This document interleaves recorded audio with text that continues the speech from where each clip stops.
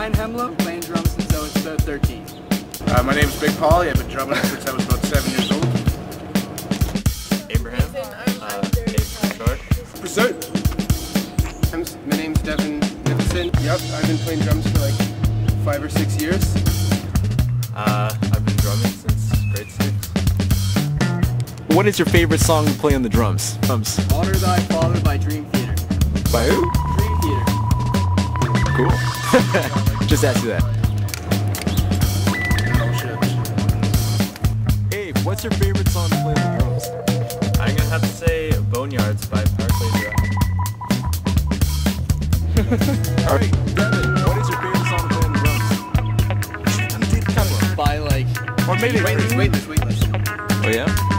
It's probably weightless by all time low. Hey, uh, my name is Josh Michael. Um, we're introducing some of the drummers who will be participating in our Drum Wars this year. Uh, first, we're going to have up Bryan Hemlow.